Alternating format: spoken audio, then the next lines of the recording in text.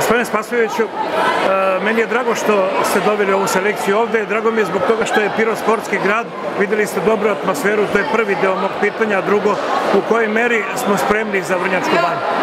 A meni je drago što smo došli u Pirot, Pirot je stvarno sportski grad, ja pamtim Pirot e, iz svojih nekih igračkih dana po lepim uspomenama. Pirot je dao mnogo uspešnih sportista. Pirot je nekad bio i jako razvijen rukometni grad, ko se seća u staroj državi i u Rukometnom savezu smo se upravo opredelili da ovakvim stvarima pokušamo da u nekim sredinama ponovo pobudimo razvoj rukometa i drago mi što su piroćanci imali priliku da vide jednu repstivnu selekciju i verujem da ćemo i u buduće dolaziti ovde.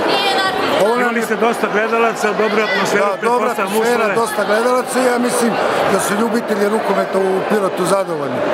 Nas čeka još e, dva trenažna centra sa ovom selekcijom, četiri dana pripreme i onda utakmica kvalifikacija.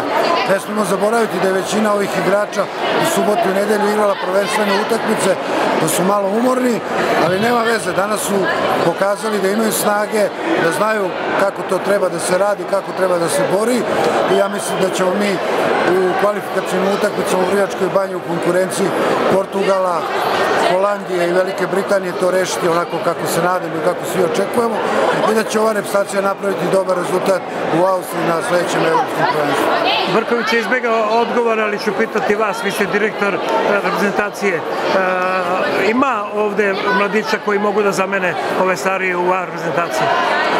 Ima, ima. Odnosno, moje pitanje je, ne treba brinuti, odnosno sugestija, ne treba brinuti za, za budućnost. Ja uvek kažem, deca ima, ali s njima treba raditi. Na nama koji s njima radimo je da im napravimo uslove, stručan rad, da oni ovo što pokazuju kao potencijal pretoči u jedan stvarni repstivni kvalitet.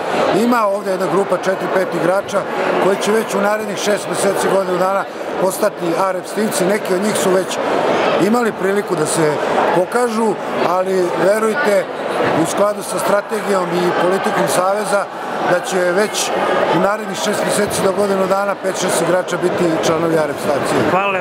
Hvala i vam.